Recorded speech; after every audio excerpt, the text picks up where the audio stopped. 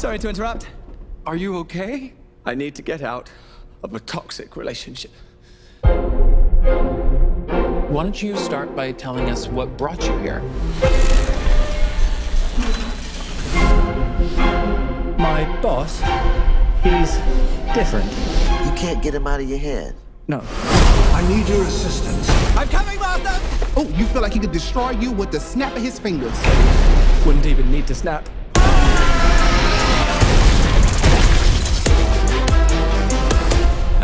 Okay. Uh huh, that sounds familiar. Yeah, what? Renfield, bring me innocent victims. I want a handful of nuns, a busload of cheerleaders. And I just want a normal life again. But this modern world is a dangerous place. No, no, no, no, no.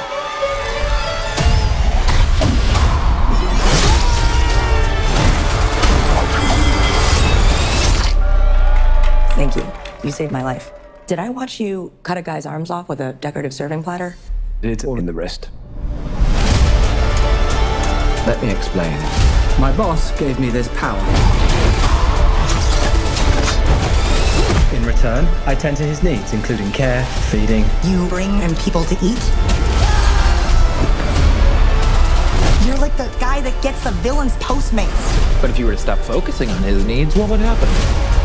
He won't grow to full power. Exactly. He won't grow to full power. What? That's so weird. Why would you phrase it like that? But yes.